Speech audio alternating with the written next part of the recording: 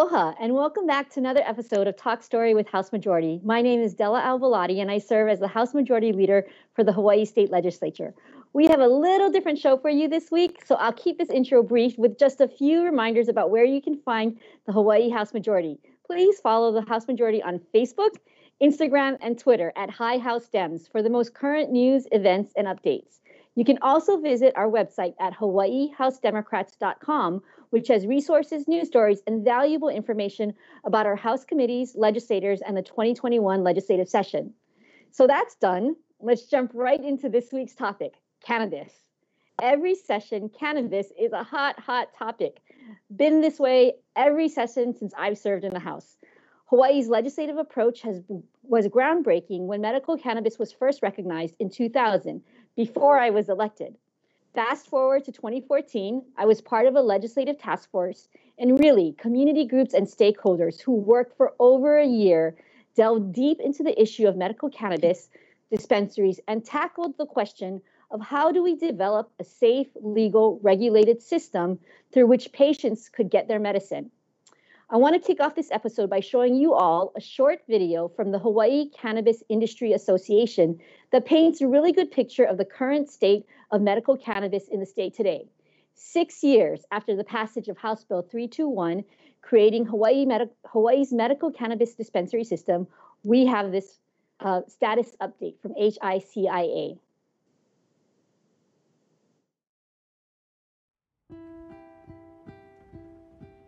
you know, without the dispensaries, probably a lot, a lot of people wouldn't have it available in any form.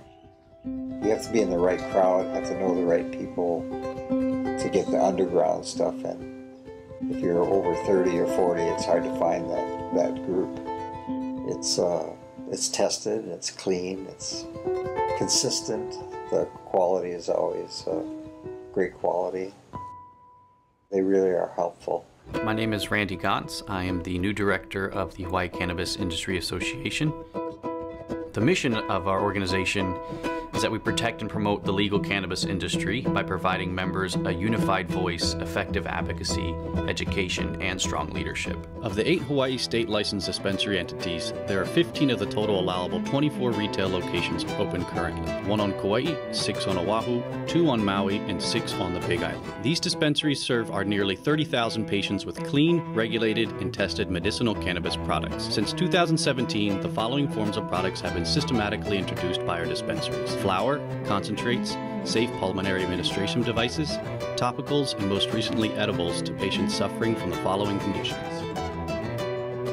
Dispensaries currently service only 35% of the patient population, while the remaining 65% are being served by caregivers or the illicit market. A spike in cannabis caregivers stacking patient recommendations and plant counts contradicts the original intent to regulate the highest quality tested products for our local patients. An increase in dispensary retail locations for easier patient access and the eventual introduction of a dual system, medicinal and adult use, could reflect nationwide trends as we move closer to the legal acceptance of cannabis. As outdoor cannabis cultivation is prohibited in Hawaii, dispensary cultivation facilities are either indoor or greenhouse, requiring complex technology and upfront expense. 70% of expenditures were purchased locally. Delays and capital intensive startup costs totaling nearly 40 million contributed to the dearth of profitability at this time. Contrary to the common misperception, our local dispensaries as a whole are not profitable businesses. As of 2019, dispensary licensees have spent nearly 76 million, while revenues are estimated to be 33 million, yielding a net loss of roughly 42 million. Low patient count, the inability to write off business expenses as detailed in Section 280E, and ongoing high operating costs have led to these negative results. Continuing to abide by the provisions of our current system would prove Hawaii's medical cannabis program unsustainable. This path will force patients to turn to the illicit market where medicine is unregulated and revenues fuel illegal untaxed transactions. Making impactful contribution to Hawaii's state economic growth, our medical cannabis industry has generated an additional output of 141.9 million, 635 jobs due to its creation, and a total of 18.4 million in federal, state, and local tax revenues. Dispensaries have made extensive efforts to adhere to the rules set forth by the legislature and the DOH. With no reports of theft or diversion by the dispensaries, Hawaii continues to deliver regulated, clean, safe, tested products to patients.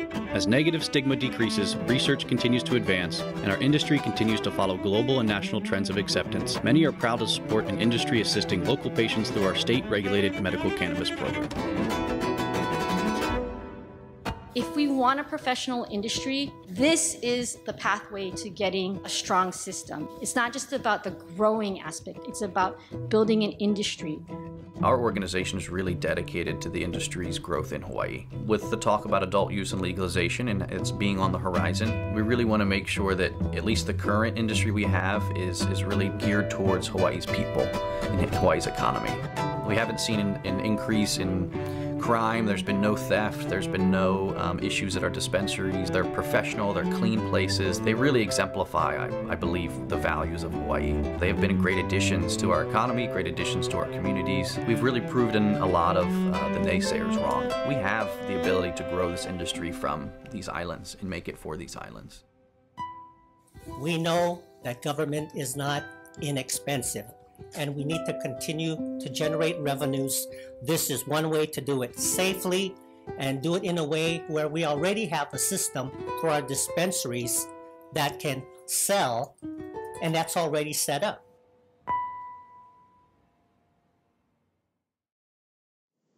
Thank you, HICIA, for that great video update. With me now, I have Michele Nakata, Supervisor of the Medical Cannabis Dispensary Licensing, Licensing Section from the Office of Medical Cannabis Control and Regulation. Thank you so much, Ms. Michele, for joining me on this episode. How are you doing today? I'm doing good. Thank you. So, for those watching uh, who may know a little bit about med- medical cannabis a lot or maybe not know anything at all, what exactly is the Hawaii Office of Medical Cannabis Control and Regulation? And what's your role? What do you do there? Okay. Um, so the Office of Medical Cannabis Control and Regulation, or OMCCR, uh, which you were instrumental in establishing, uh, joined together two previously existing separate programs uh, the Patient Registry section uh, program and the Dispensary Licensing program. Uh, OMCCR is responsible for implementing the medical use system, um, primarily to ensure that qualifying registered patients have safe access to cannabis for medical use. The program, as I mentioned, is comprised of the patient registry section, which oversees the registration of patients with qualifying medical conditions. And the dispensary licensing system is responsible for regulatory oversight of um, Hawaii's eight dispensary licensees. I joined the program in December 2018 uh, primarily to supervise the dispensary section, but also I was um, asked to help stand up the new combined Office of Medical Cannabis Control and Regulation. So you come on in 2018, and then by 2020, we're in the middle of a pandemic, and you're dealing with that, right? Okay, we'll get back to that later on. But for those of you uh, not familiar, you got a little bit about the dispensary system, but can you tell us a little bit more about the dispensary system that might be uh, interesting to our listeners? Sure. So, as I mentioned, Hawaii has a total of eight licensees uh, statewide. Two are on the Big Island, two are in Maui, one's on Kauai, and we have three on Oahu. Uh, so, Hawaii has what's called a strict vertical system. And what that means is that each of Hawaii's licensees is responsible for everything uh, from cultivation to manufacturing products, packaging, um, and all the way through retail dispensing. Um, they are allowed to subcontract various aspects of their operation, but each licensee is solely responsible for the entire operation. Um, each of the licensees is allowed to have a total of two production centers, and uh, that's for cultivation and manufacturing. Um, and then they can have three retail locations each. Uh, currently, we have a total of 28 facilities statewide, um, and that includes 11 production centers and 17 retail locations. Each of the production centers is allowed to have up to 5,000 cannabis mm. plants. So that basically means that each licensee is allowed to cultivate a maximum of 10,000 plants. Um, in order to keep track of everything, the state maintains uh, an electronic seed to sale tracking system, and um, that the licensees are required to also utilize. Uh, the system tracks each plant and material from each plant, from growing through manufacturing, through laboratory testing, uh, to retail, and also through destruction. Um, and this means that you know in addition to us being able to track plants and plant material forward through the system to make sure that there's no diversion we can also backtrack um, any patient purchase to the actual source plant. And that's especially important in case uh, you know there's an adverse event or something you know is identified that necessitates doing a product recall. Um, also um, unlike many states Hawaii's rules require that every single batch of cannabis or manufactured cannabis product is required to be tested and meet all laboratory standards before it can be released for retail dispensing. So, really, the Department of Health has continued to maintain a safe and regulated system, is what I'm hearing from you. Yes. So, some people would say that our system is a, is a little overly strict. Um, and I think that's actually been a good thing. You know, some of some some of the states that implemented early um, look back and say that it's it's a good idea to start really strict, and as you learn more about the system and about the industry, um, realize what it is that you can scale back on. And, and loosen up that way instead of uh, doing what some other states have done is which is you know start very open and then um, are struggling to try to reel in different aspects of, of their um, cannabis systems. Sure. Okay, I want to get to your legislative priorities, but before we do that, since you mentioned it, have we ever had to recall any products in the a couple of years that the dispensaries have been operating? No, we have not. Um, I oh. think probably the closest concern that um, since I've been on board was uh, when a couple of years ago when there was a nationwide outbreak of um, EVALI that was related to cartridges. Um, fortunately, Hawaii does. Um, for some reason, when we when we established our rules, uh, we're very strict that the cartridges must contain only um, cannabis derived oils so we did not have an issue with the types of uh, additives that were associated with the EVALI outbreak. And although Hawaii did have a few cases um, of suspected EVALI, uh, there were there were absolutely no illnesses that were associated with any dispensary products. I think that really speaks well both to the Department of Health and the seed to track seed to sale tracking your regulations, and it also speaks to our dispensaries adhering to the rules and regulations. So now that we're in the legislative session, we've got almost a month left to go. what are the priorities of your office in 2021? Okay, so for this year, I would have to say that um, priority number one for our office has been to revise our administrative rules. Uh, so, Hawaii Administrative Rules, Chapter 11 850. Um, I'm pretty embarrassed. Uh, the rules have not been updated once since the dispensary system was established in 2015. Um, and we all know that a lot has changed. Um, so, so don't don't knock yourself too hard, Michele, because sometimes it takes departments five years to write rules. You guys did it fast, so I'm glad that that's your number one priority. But I'm sorry, I'm sorry to interrupt. Go ahead. No, that's okay. Uh, that is definitely my number one priority. Um, other than that, I, you know, we would really like to establish a surveillance system for health impacts that are related to cannabis use use and then um, begin developing and disseminating health messaging based on what that data shows um, after all you know we are public health um, i've been a, a public health uh, practitioner for over 30 years now um, so, in addition to ensuring safe access to patients, um, I feel that it's very important that we be monitoring for other impacts that the movement toward and acceptance acceptance of um, cannabis use is having. Um, for example, you know things such as youth use and um, even youth perception of cannabis um, use during pregnancy and breastfeeding by women, impaired driving, um, and impaired workplaces. Um, so, you know, with those priorities in mind, um, that brings me to this legislative session. Um, what the program really needs is resources, um, like everyone else. Uh, COVID 19 has had a really significant impact on the Office of Medical Cannabis. Uh, we had six critical positions, and that includes the program manager, fiscal officer, epidemiologist, uh, information technology specialist, secretary, even, and office assistant. They were all defunded as a result of the economic impacts. So, yes, we've been uh, operating without any of those key positions. Um, but fortunately and thankfully, uh, two measures, one of them a budget uh, budget bill and the other one uh, an appropriation bill, uh, they're both still alive and moving forward, and both of them reinstate funding for these six positions. So cross our fingers uh, that you know they they will make one at least one of them will make it to the end, and we will be able to finally recruit and fill those positions and fully operationalize the office.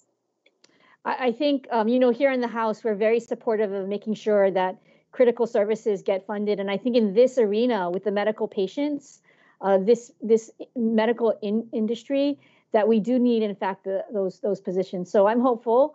Uh, it's still tough because yeah. you know state revenues are just taking such a hit, but we're we're working for that. So with laws and regulations are, that are new, complex, and constantly evolving um, as the cannabis industry grows nationwide, what types of things that make your job difficult? as a regulator here in Hawaii? I would say that I think that the most challenging thing um, has been that there really is there's no roadmap to follow. Um, this is all new territory, especially for Hawaii, um, and the fact that um, cannabis remains federally illegal, it really exacerbates the situation.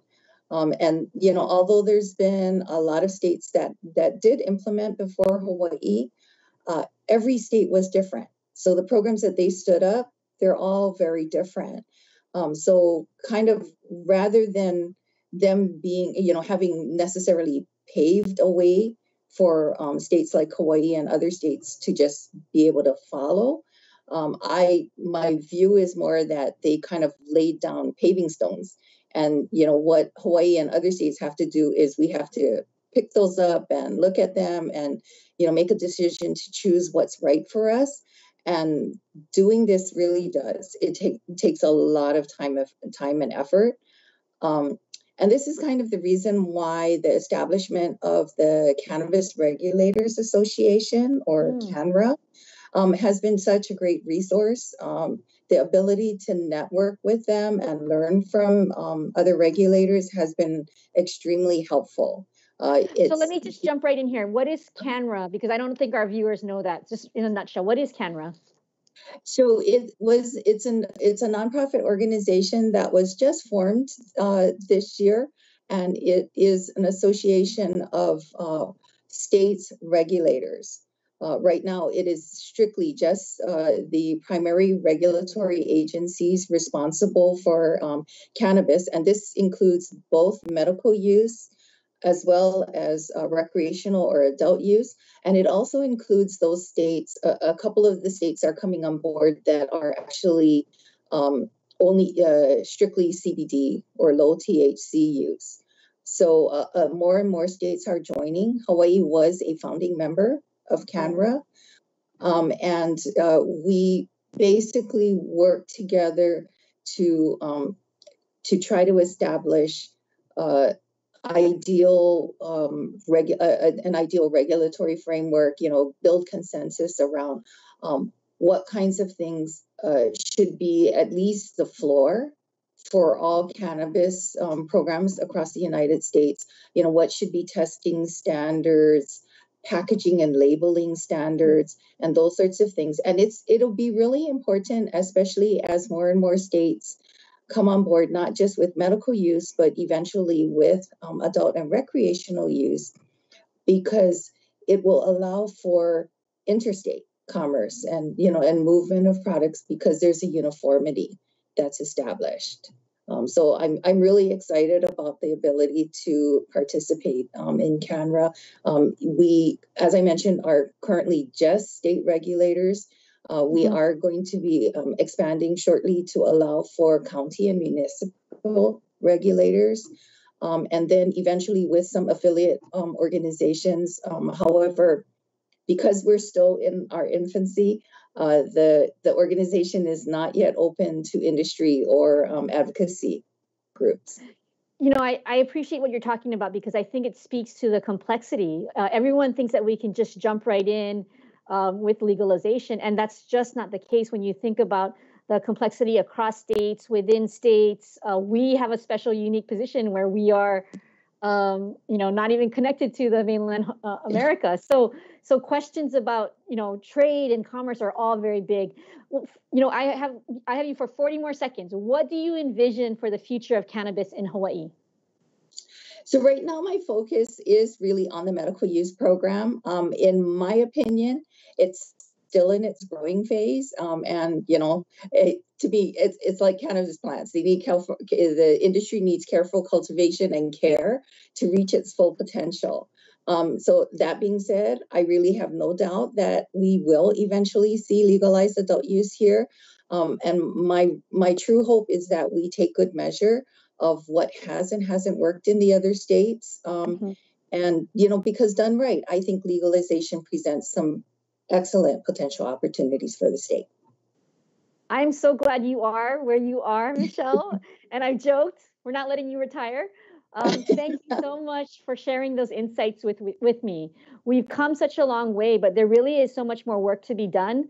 A couple of weeks ago, for my audience viewers, uh, we were able to visit uh, one of these dispensaries, uh, the newest retail location that's opened up with um, Tai Cheng of Aloha Green Apothecary.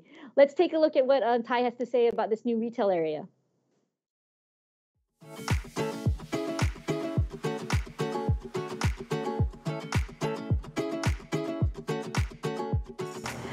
Thank you, Tai, for having us here at Aloha Green Apothecary's third retail dispensing site. Uh, this has been a long journey for you and Aloha Green. So tell me about 2013 and 2015 first. Thank you, Representative. I'm glad that you're here today with your team.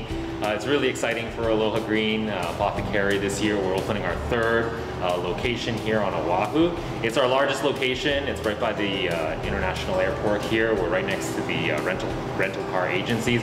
We think this is a, a, great place because of the just where all the highways and uh, where people are able to come into the city and out of the city. It's one of those stops where when returning uh, residents come back to Hawaii, they can stop by our stores. And for even visitors who do uh, intend to come to Hawaii, uh, maybe one day they'll be able to take part in purchasing cannabis as well. So this is your third dispensary retail site. So where are your other two and where is your production center? Right, so when we first started uh, in 2016, we opened uh, the first uh, dispensary here in Honolulu. It was located, uh, it is located still at Interstate Building on South King Street, uh, at King Street and Keeaumoku. Uh, we have about 1,800 square feet there with four POS. That's our original store. Our second store was in Waikiki. We were the first dispensary to open in the Waikiki Business District. Uh, that location is located at Saratoga and Kalakaua, mm -hmm. right across uh, from the post office and next to Eggs and Things. Uh, it's been a great location for us, uh, especially with a lot of the locals returning to Waikiki since the pandemic mm -hmm. has uh, limited tourism in the area. And our cultivation center is near the North Shore. It's between Wahiawa and the North Shore and on old Dole pineapple land that uh, that uh, we've leased to uh, grow cannabis. So tell me about this space. Um, what are some of the new innovations you've adopted, and then just tell us about some of your products here. Yeah, so the airport location, you know, we we were uh, unlucky, I guess, to be building out during the pandemic period, and so we had to make sure that uh, patients uh, were safe, especially medical cardholder patients who uh, 100, almost 100% have some type of underlying condition that can be adversely affected by uh, COVID-19. And so uh, we built this dispensary out so that we would limit the period of time that people would spend indoors. We tried to uh, uh, create as many touchless surfaces as mm -hmm. possible. Uh, we also kind of maintain our sanitation practices that we have at the other stores, but we incorporated sliding doors mm -hmm. into the design so that people didn't have to touch any items as they as they came in and out. we also built it built out a outdoor lanai where patients can wait outdoors instead of coming into an enclosed or indoor space. And we also have our new uh, pickup window, which is a small uh, clean room where uh, one patient can come in at, at a time and quickly pick up their medicine without even having to enter a dispensary or indoor space with uh, other people inside. So very clean, modern looking in here. Yeah, this is a, a, slight departure from our first two dispensaries. The color scheme is, is similar to our other dispensaries, but uh, we went with a much uh, brighter and cleaner look than our previous dispensaries. Still not completely finished uh, decorating. We're going to create a lot of warmness though when we're finished. So we, there's some there's some art that we're thinking of adding in and some fun elements. But so far it's been uh, it's been a blast. Uh, the difference between Aloha Green and some of the other licenses is that we've really focused on concentrate products and manufactured cannabis products. Mm-hmm. Uh, I'd say at Aloha Green, our sales are about 50-50 between flower and concentrates. And uh, we lead the market when it comes to producing those concentrates. And so if you look at our menu, we do carry uh, not only uh, multiple tiers of flower mm-hmm. that have various levels of THC as well as CBD. We also uh, produce the largest selection of cartridges and or uh, safe pulmonary administration cartridges here in Hawaii. Uh, we have uh, ethanol based, we have solvent based, we have uh, CO2 based cartridges as well. Mm-hmm. And uh, we also carry hard concentrates, which is also the largest selection here on Oahu, including rosin, live resins, hash and shatter, and really all these different ways of producing the product. It just depends on the type of solvent, if any, that is utilized in the manufacturing. We've also started producing uh, a number of different lozenges, and then we have a bunch of other kind of tincture, topicals, and body oils that, that we produce for people that have topical ailments. Mm-hmm. We do have temperature checks now at all our locations for not only the patients but our employees that are attending, and we have free masks or face shields that are available oh. for patients when they come in if they happen to forget their own. And all our uh, staff, of course, wear uh, protective gear or PPE that is uh, suitable for their for their role. So like any small business, the medical cannabis dispensaries really felt the shock of the economic impact of the pandemic. And you know, you folks were just a kind of a burgeoning industry.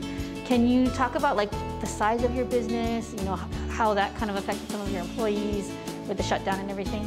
I think the local community has really uh, stepped up and shown that cannabis is a large uh, part of the Hawaiian economy and that it can continue to grow.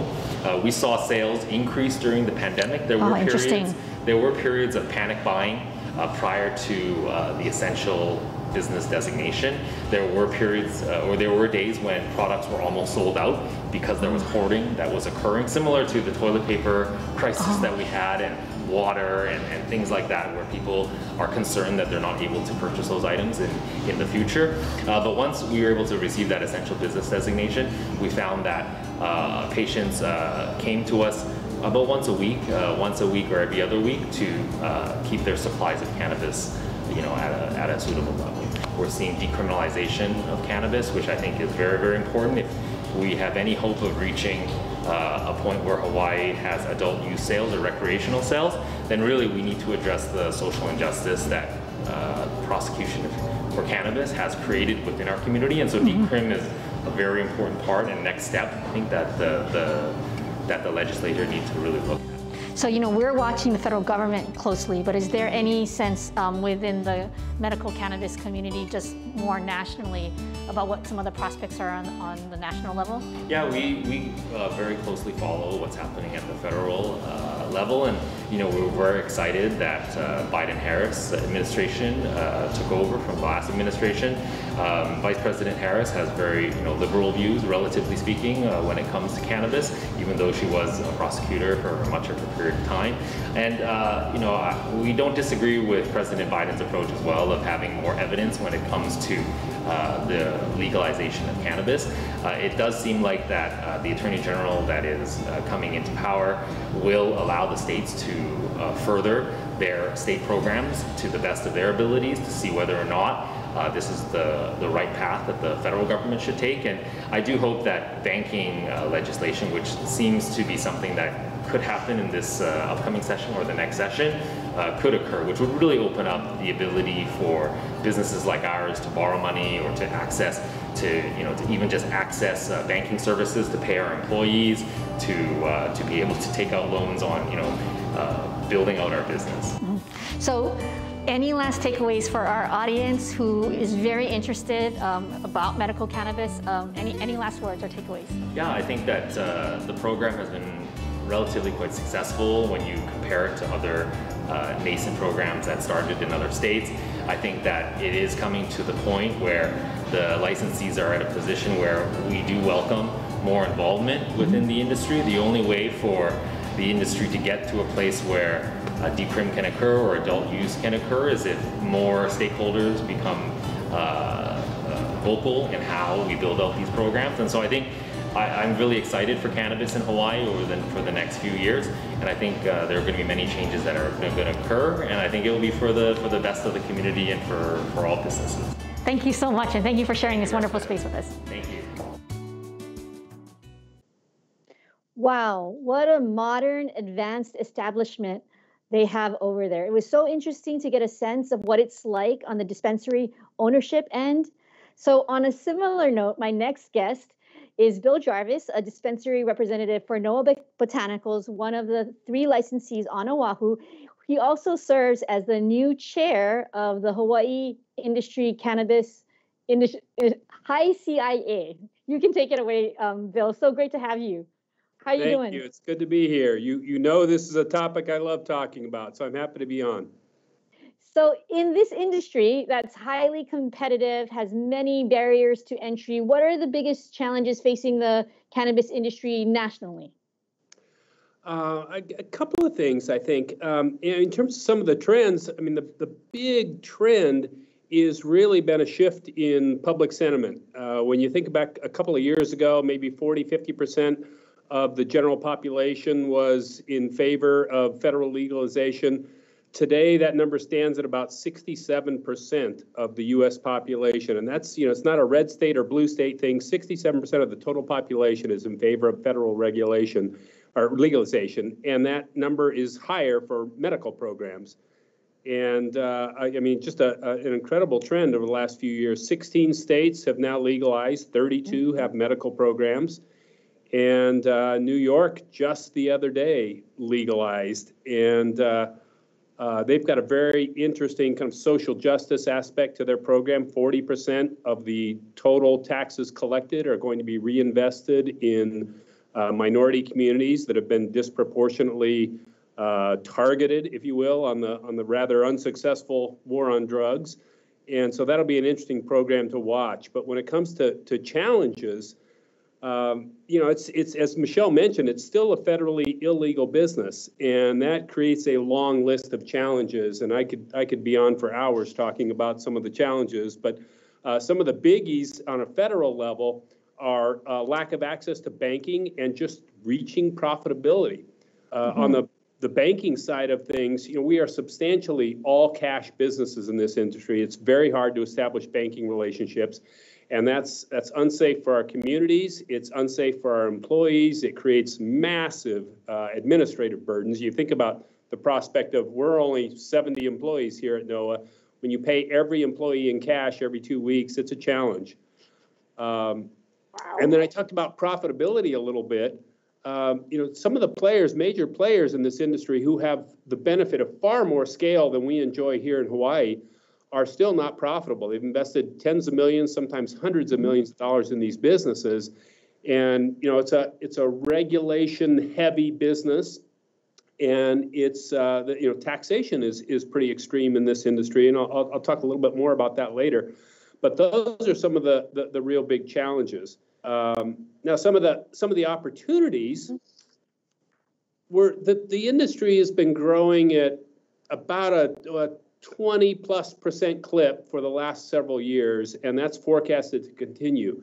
And so that does create some some really great opportunities in terms of, of job creation, which frankly this country could use uh, a, right a, fair now. amount of right now. It creates incremental tax revenue and it, and it provides a, a needed product and, and service in the community. So it's a it's an exciting industry to be in, and and uh, but it's it's not without its challenges. So, same question, but locally, what are the trends and challenges for the cannabis industry here in Hawaii? Yeah, um, it's you know it's it's largely the same, but there are some uniquenesses for sure. Uh, you know, you you are no no stranger to the legislative process, and uh, you know I I think um, one of the trends that we're seeing that that are really a good thing is over the course of the last several years, you know, as you start with legislation in the industry, you're painting with a pretty broad brush and you're trying to mm-hmm. get most things right with the facts and the information you have, but you're not going to get it all right. It's impossible. And you, you need to start understanding the subtleties and the nuances. And, and you and others have always been good about listening and asking questions about, you know, what what's good about this business, what's hard about this business. And and uh, you know, I think uh, we've made some good progress on the legislative front every single year and refined the, the rules and gotten a little better about it. And so that's made it good. Um, you also see more patients and doctors becoming educated, mm. and doctors are including this as a more holistic part of, of uh, uh, a treatment plan.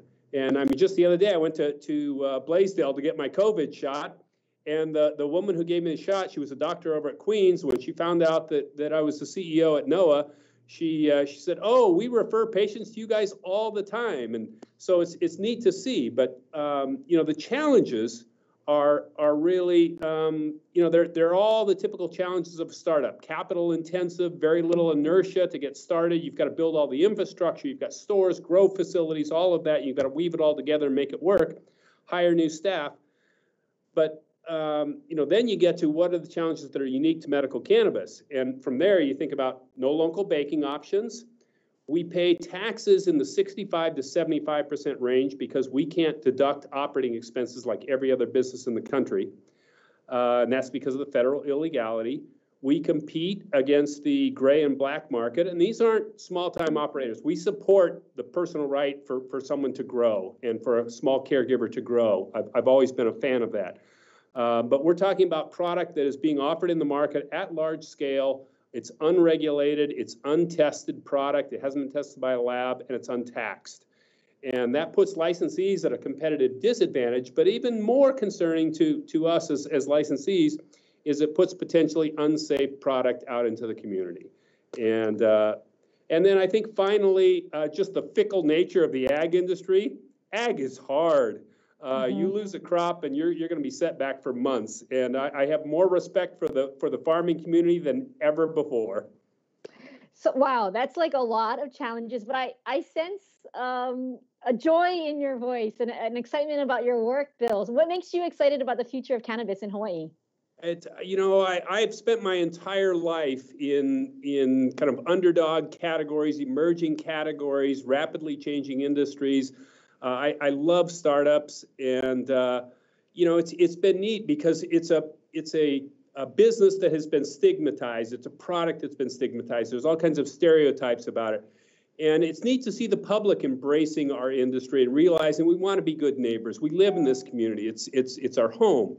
And uh, so that excites me because people are realizing, hey, this cannabis business, you know, maybe maybe we shouldn't be quite as concerned about it as as uh, maybe we have in the past.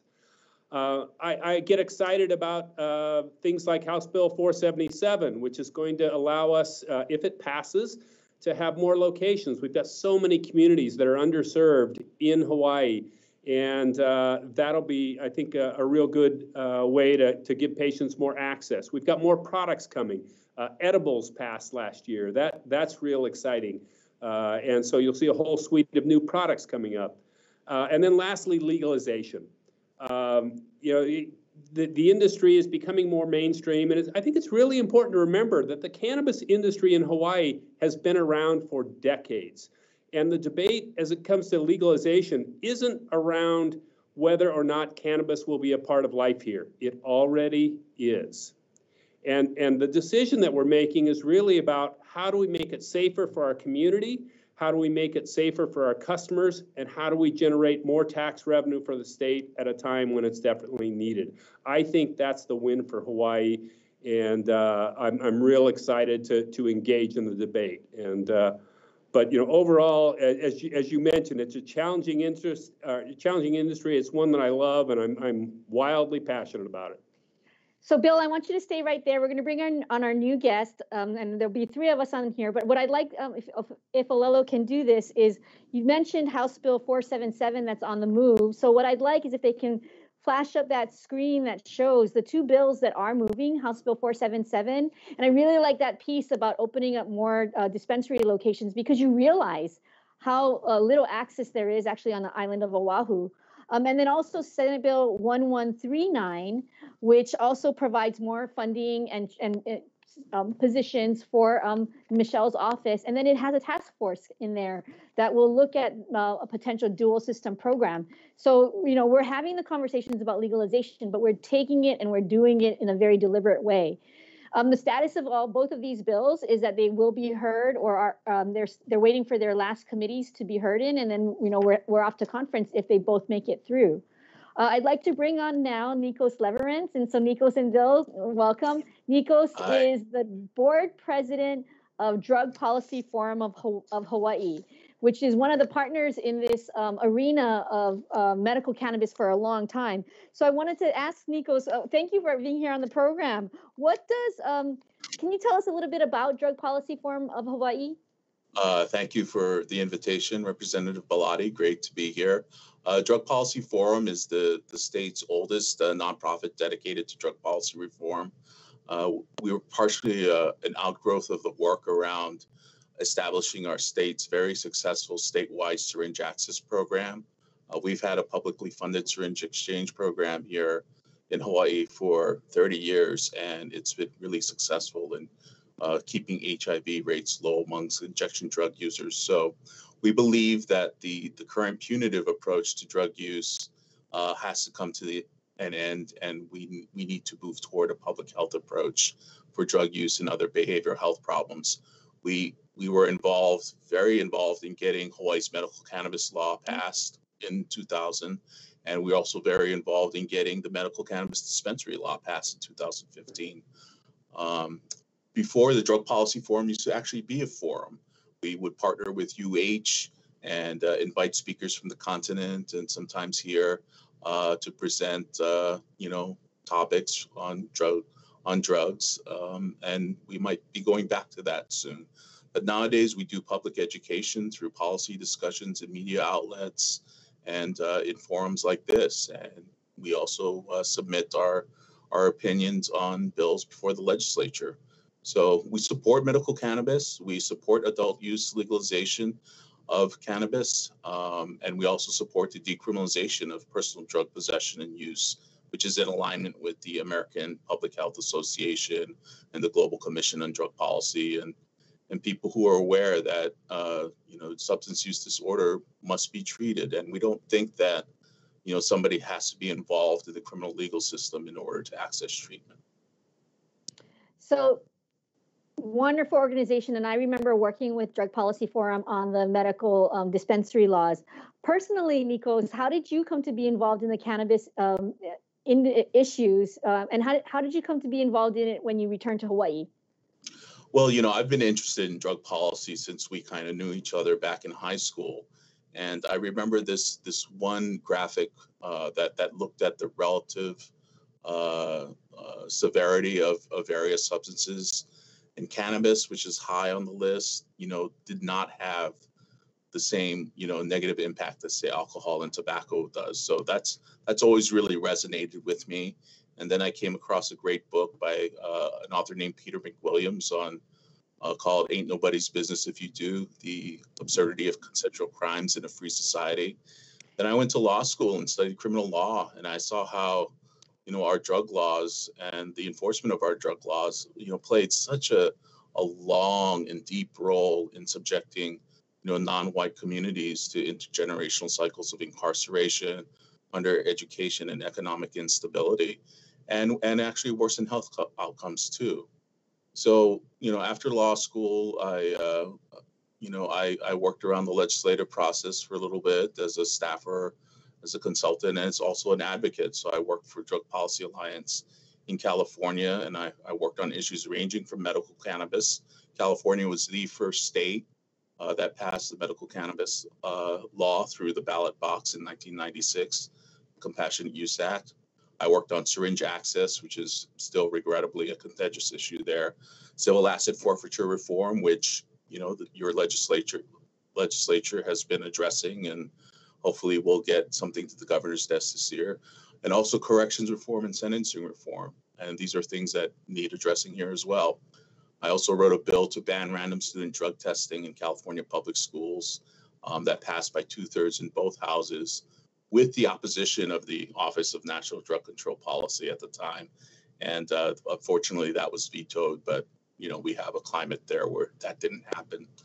So I I first came to these issues here in Hawaii. You know, I paid a little bit of attention with student drug testing. I was in a HPR debate, I believe, with uh, Peter Carlisle and Andy Bumatai. And uh, that, that was the very first radio interview I ever did. And I think this was in 2004.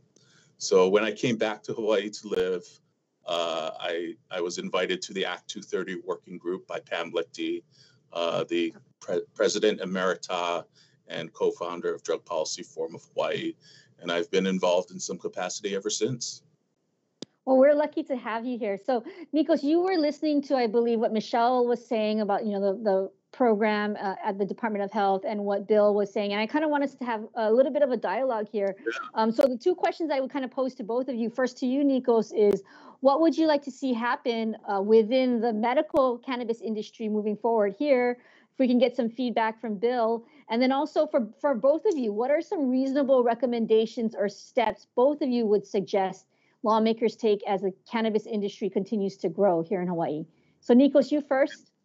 I think we heard some very good news from uh, Michele, and uh, yeah, it's it's nice to have uh, an effective Department of Health, and uh, we we think that in terms of providing edible products to consumers, we you know many people, myself uh, included, when I was a medical cannabis patient back in California, edibles were my preferred delivery mechanism. So to the extent that you know the the rules can come out and give dispensaries guidance on that, that would be great. Um, I believe that we should look more into breaking vertical integration, even if just between uh, dispensaries, um, so that you know particular cultivars can be you know uh, can be transported between uh, dispensaries and and maybe invite more businesses to engage in like delivery and some other supply services. And I and I also think I would like to see dispensaries be more vocal with our congressional delegation about the need to pass the Safe Banking Act, which directly impacts their bottom line right now, as well as the MORE Act, which would remove cannabis from the Federal Controlled Substances Act. Bill, you want to respond to any of that? Because I think, you know, edibles, um, advocacy at the national level, all good things. A- any thoughts, Bill? Yeah, I, I agree with a lot of the points that, that Nikos made. Um, I, I think uh, delivery, you know, you think of a, a lot of, uh, of patients just don't have the ability to even get into a dispensary. We don't, we're not like Starbucks. We're not on every corner. Uh, there's there's only seven today on all of Oahu, and and uh, you know s- similar numbers, in fact smaller numbers on a lot of the neighbor islands. Um, so you know delivery seems like a, a logical choice. It's also from a from a cost perspective know, the cost of standing up one of these facilities can run five hundred thousand to a million dollars. Uh, contractors kind of know they've they've got you. Um, there's you know there's a lot of uh, security that you have to put in place, cameras, fencing, those sorts of things, uh, safes, all those kinds of things. It really drives up the cost. Um, delivery is a good option. It's a convenient option. I, I tried it as just kind of a social experiment in Arizona a couple years ago and I was literally sitting by the, the, the pool in a, in a condo that I'd rented for the week, and I was I was just shocked. Uh, it was it was so convenient. I'd also say re- reducing the friction in the process of getting a card. I can get prescribed opioids today, and all I do is run down to the neighborhood longs and I, I, I get the medicine. Uh, to even set foot in our store, you have to go see a doctor um, and uh, get essentially a prescription. It's a little different than that, but uh, that's the equivalent. Uh, you have to pay a couple hundred dollars. You have to pay a fee to the state. There's a lot of friction just to set foot in our store. Um, Nikos mentioned product options, and I, I, agree. And and the final thing that I'd say uh, would really uh, help, and, and I understand this is a sensitive topic, and, and it's around advertising. It's very, very hard to get an industry off the ground where you can't even tell your consumers about the product. Uh, it's, it's very, very challenging and, uh, um, you know, just, just uh, I think an unnecessary barrier. So I'm going to give um, the last 30 seconds. I think those are great recommendations, Bill. Last 30 seconds, Nikos, what would you recommend to take as reasonable steps for lawmakers? I think reasonable uh, decriminalization needs to be high. The threshold needs to be heightened by uh, to 30 grams per SB 758. We also need employment protections for medical cannabis patients, and and hopefully we'll we can get to that real soon. Thank you both. I think we could be on for another hour and would have such a great discussion. I hope you folks will come back to talk stories sometime in the future. But thank you, thank you, thank you so much. Um, on that note, I want to take us to our final uh, community segment, and really, it actually kind of branches off some of the things that Nikos talked about about how we um, are dealing with our most vulnerable communities. You know, this has been a hard week for us in the nation. It's been a hard week for us here in Hawaii as issues of race um, and hate have really risen to the forefront um, in our community conversations. I wanted to share with our viewers here that the House majority and Hawaii Democrats everywhere are committed to fighting against all forms of discrimination. At this time, our hearts especially go out to Native Hawaiian and Pacific Islander communities who continue to suffer more and in greater percentages in the state. In this community segment coming up, we visited with Representatives uh, Sonny Ganaden, and we visited with a community leader who I think you will find inspiring at Kuhio Park Terrace. Uh, Innocenta is a true community organizer, and her focus is on really empowering the students and children and keiki and teens who come through her doors at Kuhio Park Terrace. Please watch all the way through this video. Uh, there's lots of great resources, um, community resources there for Native Hawaiians, Pacific Islanders, and for people who want to help empower those communities.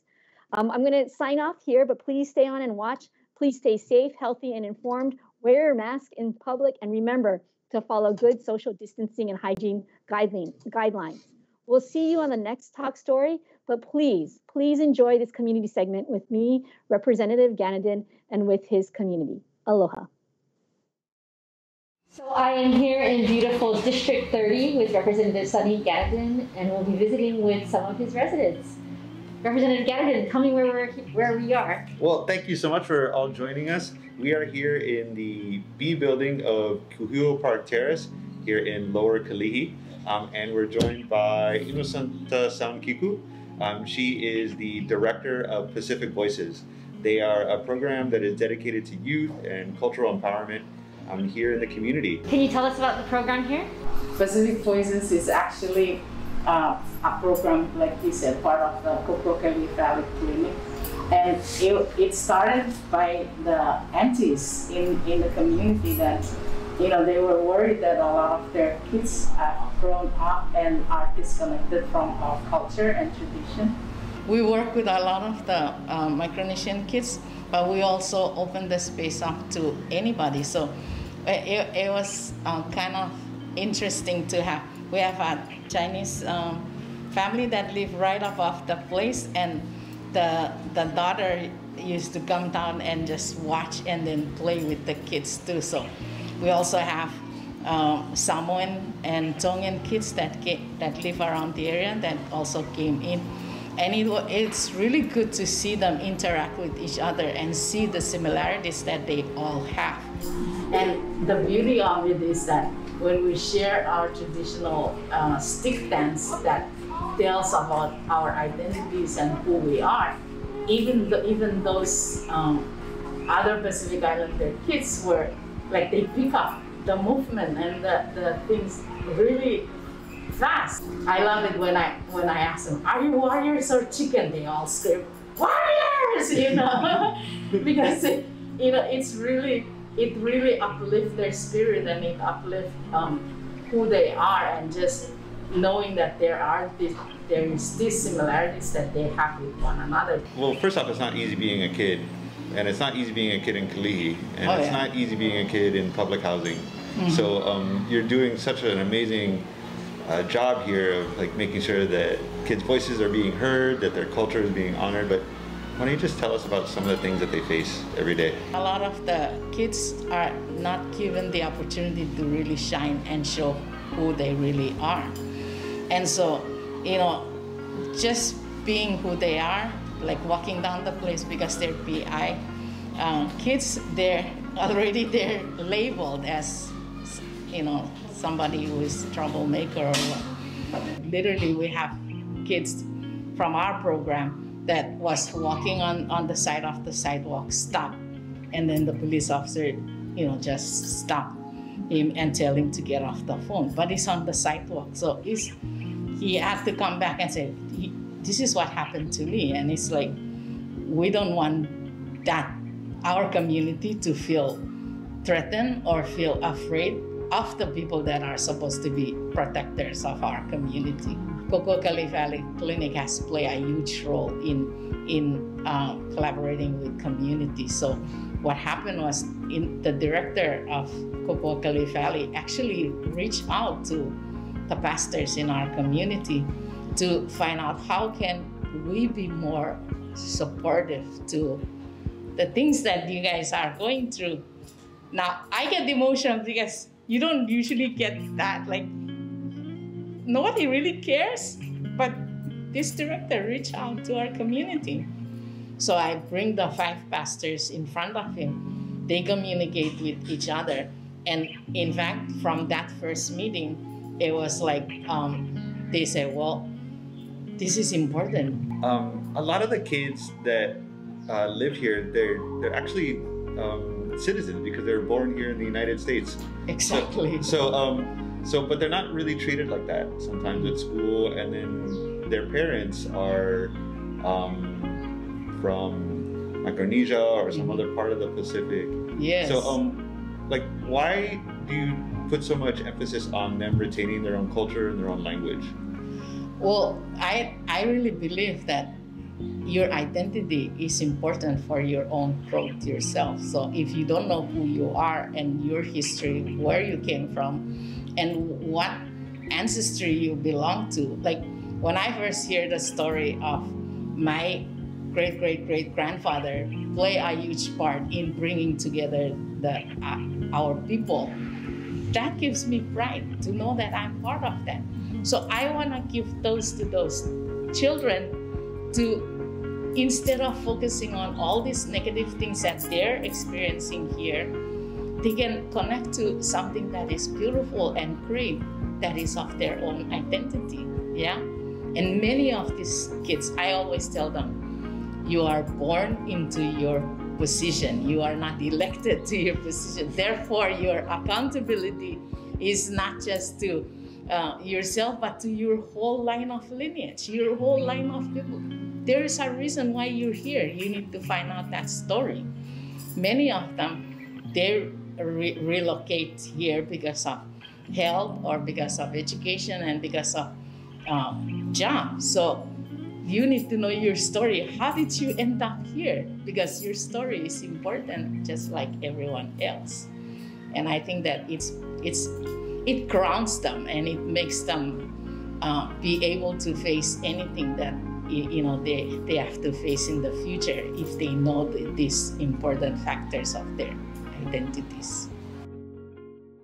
So, Rev Ganaden, where are we? We are at St. Anthony's, the Catholic church here in Lower Kalihi. It's off of Pu'uhale, so it's really right here in the heart of the first and second generation Filipino community um, here in the district. Um, it's my church um, as somebody who grew up Catholic. Um, yeah, it's a place that I, I try to come to um, um, often to um, to honor um, the faith of my parents. Yeah. So it feels like a real oasis here in urban Kalihi. There's this really nice, quiet space. So can you tell me about where we are in the church right now?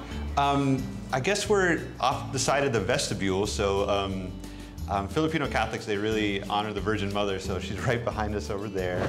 Um, and then there's some offerings as well as um, really a, a place to just kind of reflect. The Catholic community actually came together and now they um, say a prayer um, at the end of Mass, and it's a, and it's a prayer for the COVID-19 coronavirus pandemic. So, um, and it mentions Saint Damien and Saint Marianne Cope, that they dedicated their lives to service of those who had an infectious disease.